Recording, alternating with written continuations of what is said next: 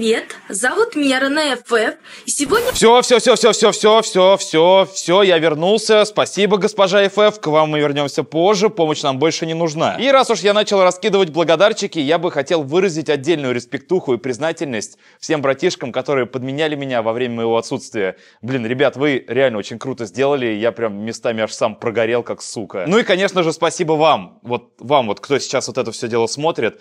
Спасибо за то, что поддержали ребят, а, за то, что заглянули на их каналы. А, мне и им очень приятно. Вы тоже, блядь, охуенные. Так, так, а, а, а что там дальше? Хит осени. Хит осени? А, да, точняк. Короче, один чувак настолько сильно обрадовался моему возвращению, то что по этому поводу песню написал. Так пиздата, ёб твою мать. Так пиздата, ёб твою мать. Так пиздата, ёб твою мать. Так пиздата, ёб твою мать. А теперь все вместе, текст песни вы уже знаете, он до конца песни точно такой же. Так пиздата, ёб твою мать.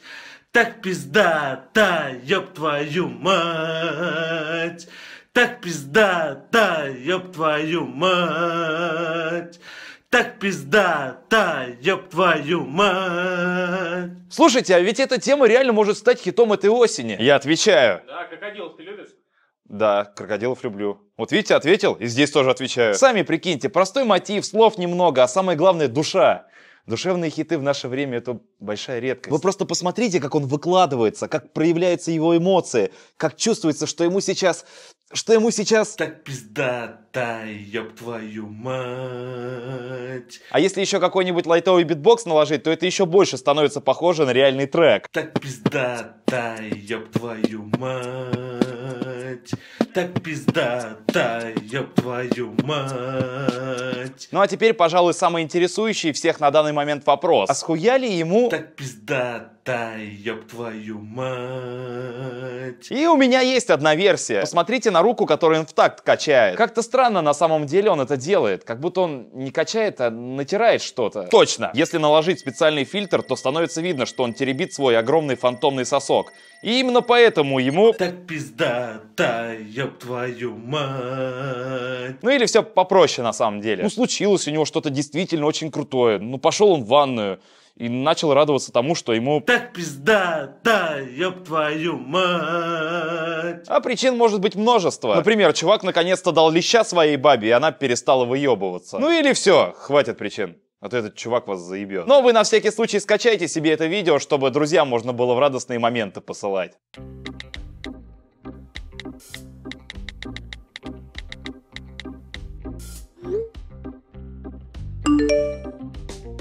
Так пиздата, ёб твою мать.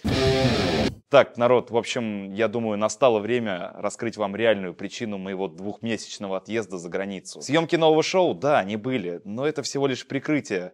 На самом деле, я уезжал из России, потому что боялся встретиться вот с этим чуваком. В Мариинске продавец магазина сорвала вооруженное разбойное нападение. Кадры дерзкого налета зафиксировала камера наблюдения, установленная в торговом павильоне. Вот в помещение заходит на вид обычный посетитель и просит налить пиво. Пока напиток льется, преступник вместо денег кладет на прилавок автомат. Знакомьтесь, алкалаш. Бухающий суперзлодей со способностью доставать автомат хрен знает откуда. А я думал, такое только в играх возможно. Пока напиток льется, преступник вместо денег кладет на прилавок автомат. Какое-то не очень выгодное вложение. Купить калаш, чтобы украсть пиво за сотку. Хотя, судя по тому, что автомат так и не выстрелил, купил он его в магазине все за 40 рублей. Короче, он решил взять харизмой и убедительным актерским мастерством. Давай только попробуй. Я шмалю. Пиво набирай. Пиво набирай? Выйди, пожалуйста. Но он не учел один маленький факт. Работа в пивнухе дает женщинам плюс ток мужественности и делает их пули непробиваемыми. Вот я бы честно засал говорить мужику со стволом. Да, наверное, она просто первый раз в жизни видит автомат. Подумала, что это какая-то очередная хуйня для вейпинга и полезла с ним драться. Когда женщина все же попыталась позвать на помощь, между ними завязалась борьба. Налетчик скрылся с места преступления. Уже через несколько минут он был задержан. Полиции выяснилось, что незадолго до этого нападения злоумышленник ворвался в помещение кафе, где под угрозой автомата похитил порцию шашлыка. Теперь злоумышленник арестован. Блин, такой охуенный вечер мужику испортили своими сраными арестами. С другой стороны, если бы его не задержали, то он и дальше бы продолжил собирать пазл своего вечернего досуга. А потом он ворвался в магазин электроники и украл телевизор. Оттуда поехал в бар и под угрозой автомата потребовал предоставить ему друзей для совместного просмотра футбола. Но вообще на самом деле это видео наглядная иллюстрация очень сильно заниженных амбиций. Вы только подумайте, у чувака был автомат. Автомат! И вместо того, чтобы спланировать ограбление банка или устроить какой-нибудь местный переворот, он решил просто отжать похавать и подпиться. По-любому его мать в детстве задрачивала и говорила, что он ничего в жизни не добьется. Ну или во всем виноваты друзья. Э, пацаны, смотрите, там Леха какую-то хреновину тащит. Здорово, чуваки, смотрите, я автомат намутил. Золотой. Давайте это, пивка! Не, ну может лучше банк или... Пивка! Блин, да ладно вам, ребят, может что-нибудь посерьезнее? Пивка! Пивка! Пивка! Ах, ладно, ладно, пивка так пивка. И похавать что-нибудь прихвати! А теперь моя любимая рубрика «Пойми, что хотел сказать человек в интервью». Казахская версия. Я не одна. Это, это, как сказать, это не одна я там, а что-то там, где-то что-то, даже если мне директор что-то там скажет, и, не дай вот как бы за угол, скажет там то, все, вот там, там, сям, я тебе это дам, ты вот это сделай, и народу наври. Я этого делать не буду. О, не дай бог, она будет кому-нибудь объяснять слово в игре шляпа. За угол. Скажет там то, все, вот там, там, сям. Блин, ты можешь нормально объяснить? Я этого делать не буду. Не, ну что это за херня? Ее, походу, Кличко укусил. Про Кличко еще шутят? Нет? Ну, вырежете тогда потом. Что там, что я тут стою просто? Скажет там то, все, вот там, там, сям, я тебе это дам, ты вот это сделай, и народу наври. Я этого делать не буду. Это видео сразу перенесло меня в школьные годы. Когда отвечаешь у доски, несешь какую-то дичь, а твой кореш пытается по беспалеву тебе подсказать. Читай с листка! Просто читай с листка! Прикиньте, эта тетка еще и предприниматель. Погодите, а откуда у предпринимателя директор? Хотя чего я спрашиваю, эта женщина максимально нелогична. Не то чтобы все остальные женщины прям вот логичные, но вот у этой тетки логика находится в отрицательном значении. И это подтверждает еще то, что она единственная, кто стоит под зонтом в солнечную погоду. Все, да не пались ты так, хотя бы зонт убери. Я этого делать не буду. Ну что ж, как я и обещал в начале, мы возвращаемся к госпоже ФФ. Поверьте, у нее есть что рассказать. Дамы, вот вы слушайте особенно внимательно. Всем привет! Зовут меня Рене ФФ, и сегодня мы с вами поговорим на тему «Как выйти замуж за миллионера?». Богатых людей в России примерно 10%. Существует несколько способов. И первый способ – это общаться в их кругах, плюс личное обаяние. Мне кажется, Рене ФФ можно верить. Вы просто посмотрите, какая на ней гламурная штора. И живет она в шикарном замке, где-то на окраине Google картинок. Надо немного поразмыслить.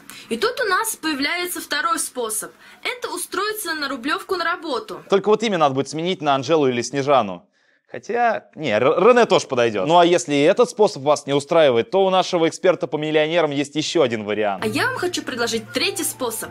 Как говорил Владимир Ильич Ленин, учиться, учиться и еще раз учиться. Вообще-то Владимир Ильич всех миллионеров на хую вертел. Ну ладно, допустим, надо учиться, но где? И тут у нее ответ прямиком из 90-х. Я вам отвечу в компании Oriflame. Блять, она почти минуту ссала нам в мозг только для того, чтобы заманить нас в ебаный Арифлейм. Простите, девчонки, это все коварная Рене ФФ. Если честно, можно было заподозрить неладное еще в самом начале, по хреново выставленному свету, который палит ее испорченное Арифлеймом лицо. Но Рене предвидела такую реакцию. И под эпичную музыку вставила фотки каких-то людей, которые получают гигантские чеки хуй пойми за что.